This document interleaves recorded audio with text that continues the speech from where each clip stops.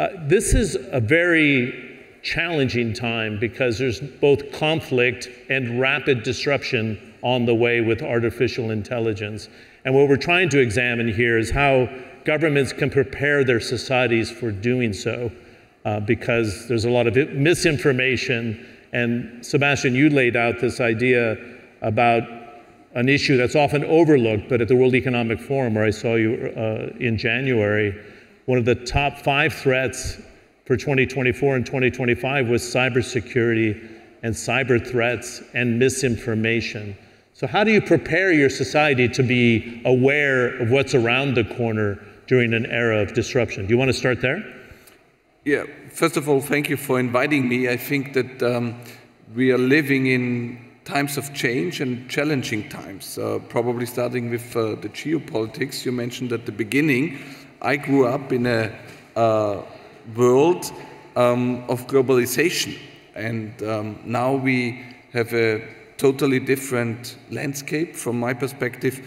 We have a quite divided world. There are only a few places in the world, like here in the United Arab Emirates, where everybody is able to meet, but uh, the world has become very divided, and especially for us uh, Europeans, of course, the conflict in, uh, in Ukraine changed a lot. Second, uh, I think there are also new threats. I think we all aligned that digitalization is very positive. Uh, um, it uh, changed the way how we work, how we interact, uh, uh, how we experience and learn. And this is, from my perspective, an extremely positive uh, development.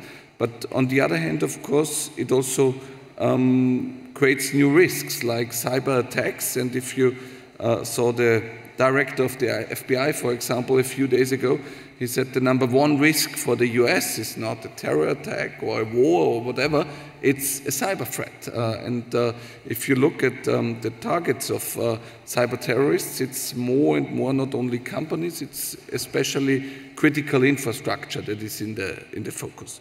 And the last uh, issue you, you mentioned um, is, of course, the question how people get their information. And I think in the past it was in a very traditional way. It was uh, through newspapers, um, media, classical media, which gave them a lot of power. But uh, on the other hand, it was also in a very controlled way. Uh, social media, um, I think, is a huge chance to get information. It's a huge chance for everybody to share information, um, to share your opinion. Uh, but of course, um, there is also uh, a new threat now, and this is disinformation. I think that um, if you have uh, the manipulation of pictures, for example, um, this is a threat. But if uh, uh now videos are even manipulated, um, this uh, can be a real risk to our societies, to our public debates, and of course to to uh, how people, um, yeah, in, get information and inform themselves. Yeah, you laid out very central themes for the discussion as well. Uh, for a board seat that they were holding in Abu Dhabi, they asked if they could use my voice and still picture. And they did a 45 second board presentation opener, and I didn't do the voiceover. So, just with the audio that it does exist outside the world, you would think I did the track. So, yeah, to be, that's, that's the first stage To be this. honest, I think pictures and articles, of course, that was the first step. The next one was audio, and it's, it's, it's, it's already pretty strong. But if you see a video of yours where you give a speech, to be honest, probably for everybody, it's something they easily can believe in. So um, from my perspective, this is, this is really um, a huge change and uh, a huge threat to, to yeah, how, how information can spread. Yeah, it was that ranked number one on that uh, Webster uh, survey. Uh, Minister it's good to see you again. We had a chance to, to chat before, and I wanted to address what Professor Begg uh, made in his opening presentation. He's pretty optimistic, but I'm wondering if it has to get nastier before it gets better. And the other twist that you and I talked about over coffee was I'm quite surprised how resilient the world is today. Uh, if you think about what it's been thrown with the pandemic, preceding that with the financial crisis in a region with the Arab Spring, Russia, Ukraine, and energy shortage, they find solutions. But the combination of disruption and resilience, can it be sustained at this sort of pace that we're seeing today? George? First of all, many thanks for the invitation. It's great to be here. I liked very much Ian's optimistic take, and I think we need to keep, uh, uh, at the end of the day, two, two, two big lessons. One, yes, we find solutions, and this resilience is the second element. But having said that, I don't think we should be downplaying the enormous challenges that we're facing at the moment. I think there is one fundamental issue that sort of acts to, to, uh, as an umbrella for everything else, and this is that we are in a position of the greatest ever economic interdependence globally that we've ever had. At the same time, we are facing more fragmentation than we have ever faced. Mm. The geopolitics is absolutely terrible. Uh, there is weaponization of financial markets and of trade in global economic relations. And there's a real danger that uh, this creates conflict. And this creates conflict not just in areas such as trade and finance, where we've been seeing it. We've seen, for example, how the trade friction around China uh, are poisoning uh, international economic relations. We've seen how, following the sanctions uh, around the Ukraine war, this has disrupted the international financial system. But there is a real danger that this kind of fragmentation that we're seeing spills over into other areas that are fundamental for humanity's well being. Climate is, is a classic one. Uh, will we see the kind of fragmentation also spill into climate negotiations? We haven't yet. Health is another one. We've come out of, of a global pandemic where we surprised ourselves at our resilience. We were incredibly good at coming up with a vaccine. We were very bad at rolling this out around the world. But yes, we were resilient. But we are not seeing really learning the lessons from that pandemic. We're not seeing the World Health Organization being given the powers that it needs.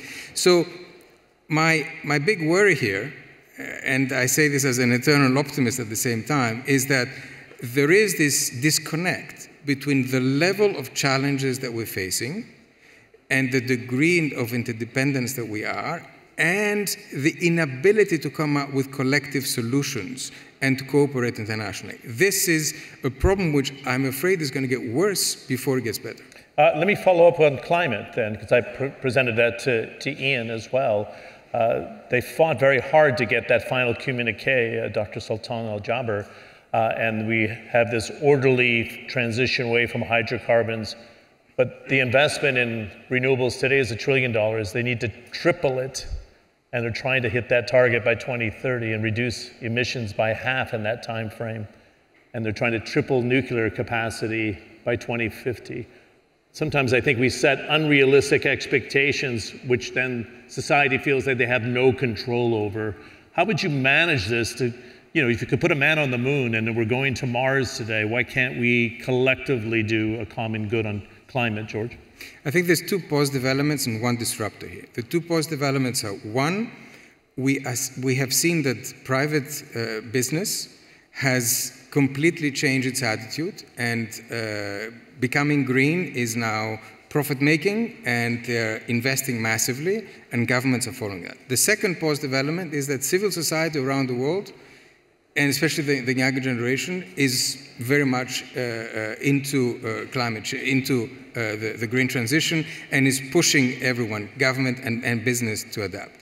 The disruptor has been uh, the fact that because of, of Ukraine, which realized that the kind of uh, the fuel that was the transition, which was gas, can no longer play that role. So we need to rethink.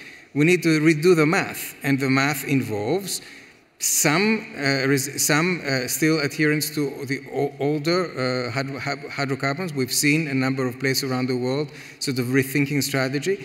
It, we need to rethink nuclear, which we had a number of countries in Europe, you know well, uh, Germany had taken out, for example, the calculus, and we need to push much faster and make renewable cheaper, quicker. So it's a difficult equation to solve because the parameters keep changing and that but fundamentally, I think even though we're behind where we should be, we're moving in the right direction. And if you allow, let, me just ask, uh, let me just add two um, short points. First is, I think, of course, you're right that managing expectations is important. Um, but I think there's also a need for big visions and, and, and goals where everybody can contribute. And second, um, I think that there is a lot of innovation. So what I especially liked at um, the, the COP was the strong involvement of the private sector. To be honest, from my perspective, this will be the biggest and the best driver in the next few years. The the involvement of the private sector will drive innovation. And I think this will be the big game changer from Good. I'm glad you said that because there was a lot of criticism that there was too much business there. No, but they're the one, the private sector has to put private capital up to make things happen, is what you're saying. Yeah, to be, to be honest, only having politicians to, to discuss and NGOs to criticize, this is not enough and it will not change anything. So, from my perspective, the strongest driver is always the private sector. And um, the, the biggest change, uh, no matter in which area, can only, a disruptive change can only happen with innovation.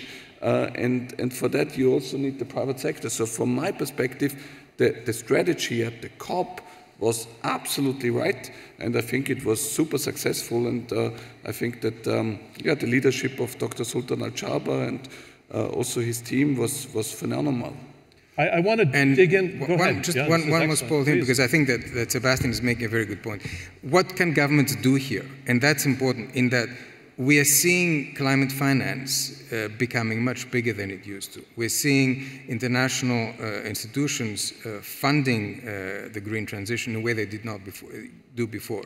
So there is a shift in terms of how we treat the legacy assets, and that's very important to make business, make it even more profitable for business to innovate and move faster. So there is a regulatory aspect of this transition. Business is moving by itself as well, but there is a regulatory uh, uh, connection that, that needs to be made. Okay. Uh, there's an elephant in the room because we could have uh, Donald Trump back into power. And I talked about the unipolar world. That has definitely changed. We see the expansion of the BRICS, for example, and Russia, Ukraine getting China, somewhat India on the fence.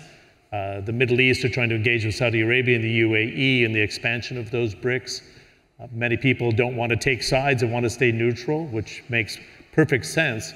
But in the last 24 hours, one of his uh, advisors said that he'd like to come out of NATO, and he wasn't a supporter of the climate uh, agreement in Paris. So, like many steps forward in COP28, you have a threat of going many steps back if the US pulls out. Can the world survive another term with Donald Trump. Let's go with you, Sebastian. So the world will always survive. Uh, I'm an optimist. And uh, to, to answer your question, I think nobody knows the, the outcome of the, of the elections in the, in the US yet. Yeah? Um, so let's, let's wait and see. Um, but what you mentioned before is, is quite interesting. I think that the, that the world has changed in a way that there's not only the West in the lead, yeah, um, we, we live in a totally different uh, world today. So uh, the US and, and, and Europe together are less than one, one billion uh, people. If you compare it with other world, parts of the world, that's nothing. If you look at where is a lot of growth happening, yeah, where is a lot of dynamic. You talked about um, efficient countries uh, before. I think Greece and Austria are small countries, are more efficient than others.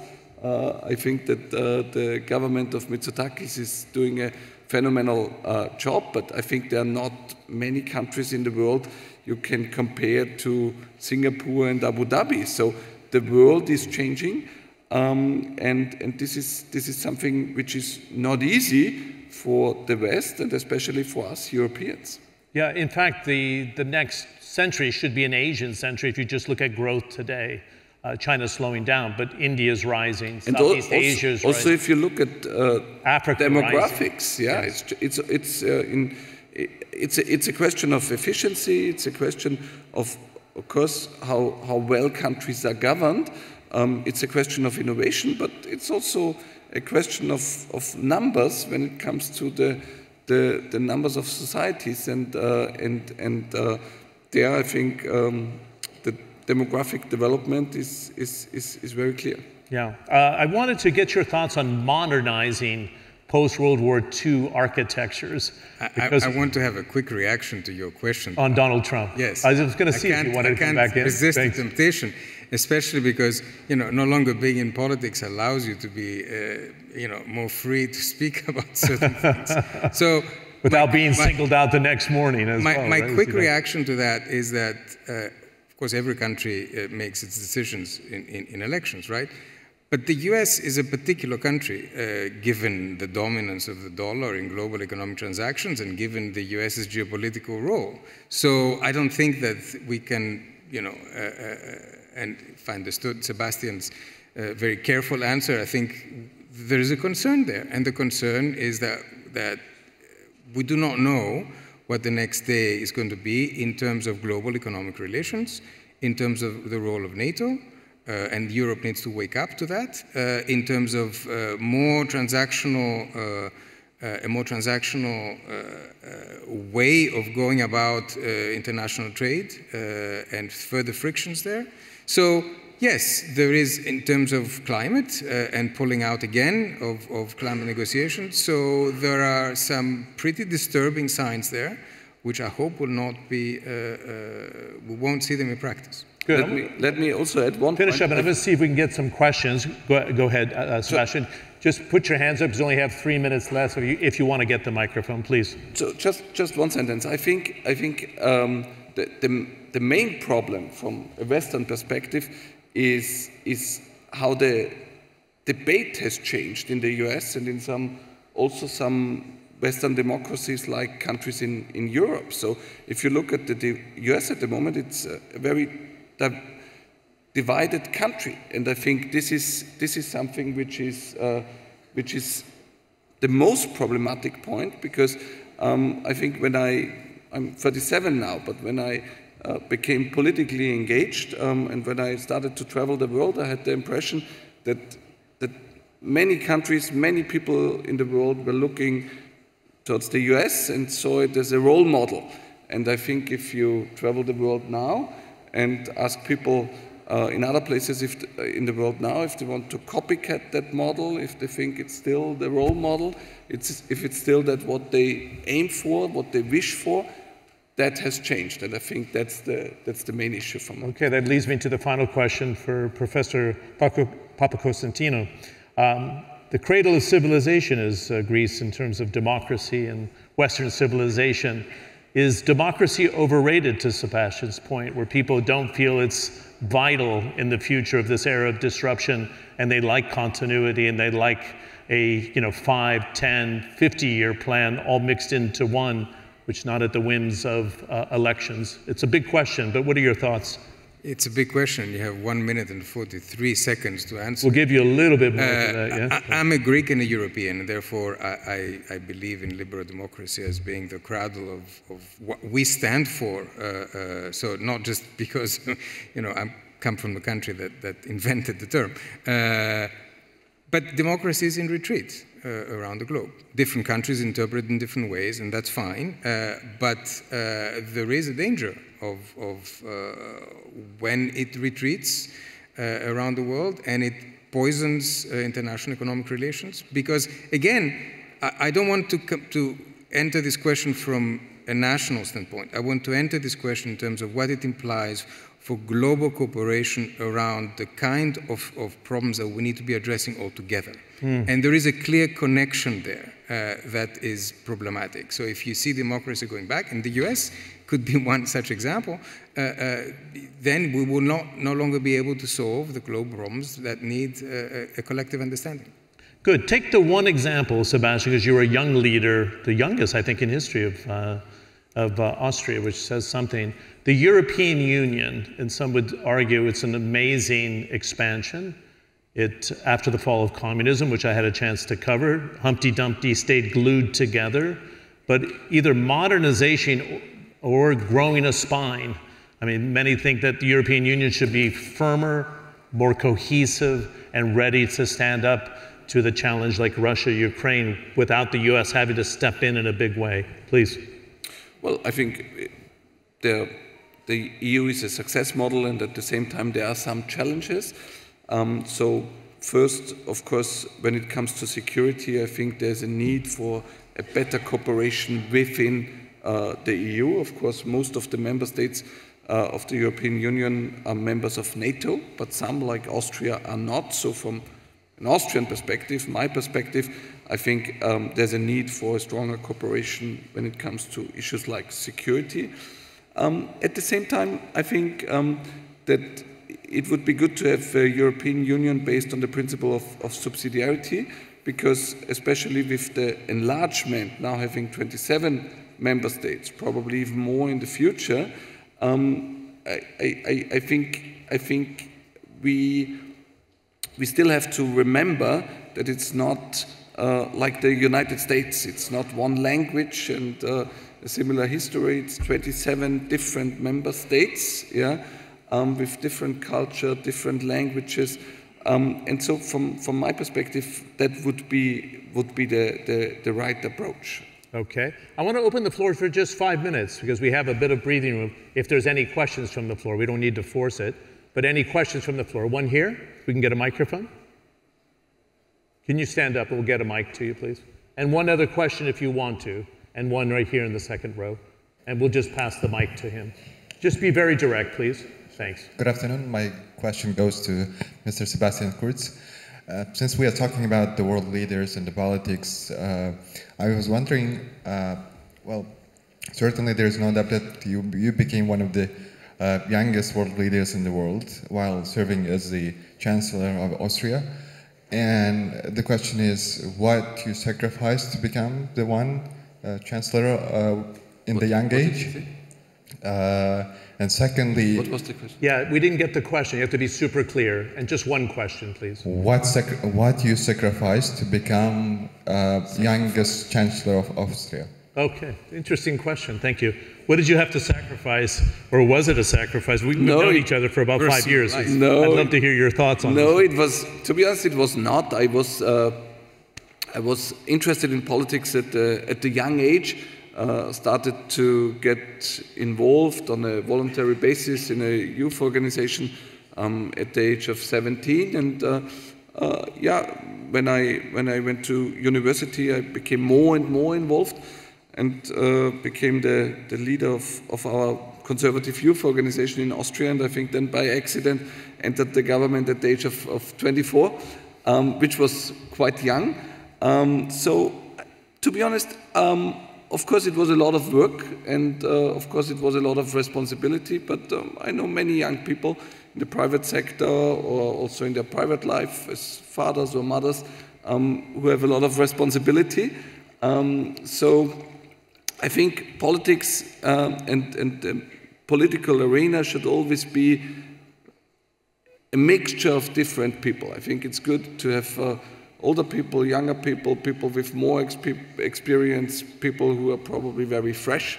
Um, uh, you, you should have men and women, so I think diversity in, in the political arena is good. Good. Uh, very quickly, George, you learned it the hard way during the financial crisis. It's a pretty nasty game, is it not? Yes, my, my shorter answer is private life. You lose your private life completely. But, you know, at the, we have a word in, in Greek, which I'm sure, John, you know, which is hubris.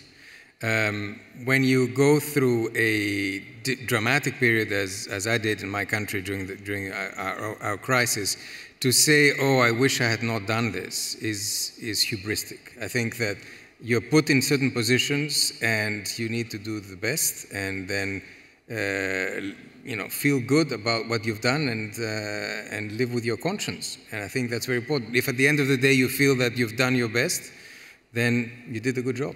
Good. We had a question here, and then we'll close out the session on time. Thank you. Thank you. Thank you very much. Uh, as many young people also following us uh, online around the globe, it will be also interesting to know your opinions uh, to our panelists. What are the uh, future important values for the future leaders to have, especially when we are thinking about developing and shaping the future of the world? Thank you very much. Thank you for the question. It's excellent. what sort of value systems do you have? Uh, there's a breakdown in religion in some parts of the West, for example. Nobody really identifies with a, a, a, religious base, but what value systems should we be teaching? And in the West, we're not teaching civil service or civics anymore in, in the United States. It's kind of gone away. What do you think, Professor? All right, I'll start. I'm sure uh, Sebastian will have his own. I would use a few very simple words. Uh, I would start with empathy, uh, understanding, tolerance. We live in, in, in societies, a lot of them are broken there's a lot of inequality, there's a lot of social tensions. So you need to be able, when you uh, go into politics or any leadership position, to understand that and work with it and work how to, to overcome it. Then, of course, the basic competence issues. Uh, but if you're talking about values, I think that's where you should be starting from.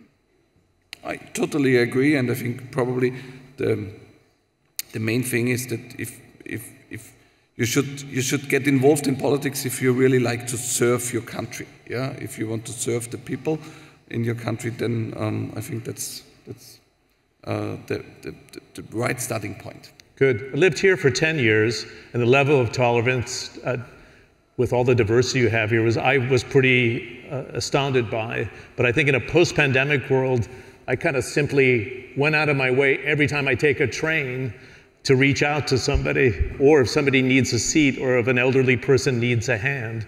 And it sounds super simplistic, but I think we've lost that civility in many parts of the world because they're fighting inflation, which is hitting people in the pocketbook.